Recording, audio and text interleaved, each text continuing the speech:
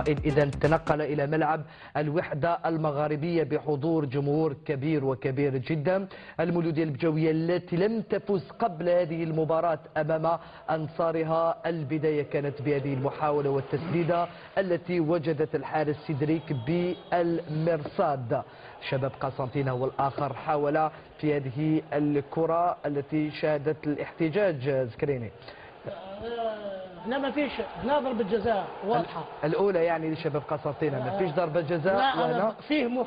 خارج كانت المخالفة خارج منطقة العمليات مخالفة موجودة ما كانش ضربة جزاء وهنا كاين ضربة جزاء صحيح بعد أن سدد دحوش ولمست يد بن شريفة رحال حولها إلى هدف الأجواء كانت هكذا في ملعب الوحدة المغاربية بجاية. أول مرة المولودية البجوية تفتتح باب التسجيل بميدانها آه، بعد ذلك محاولة لشب لشباب قسنطينة الحارس الرحماني بميدان هيكل أول مرة تفتتح باب التسجيل. كانت دوما تتأخر في التسجيل. بعد ذلك نسيم دحوش أضاف الهدف الثاني لمولودية بجاية ثنائية. وبعد ذلك كاد في نهاية المباراة حمزاوي البديل أن يضيف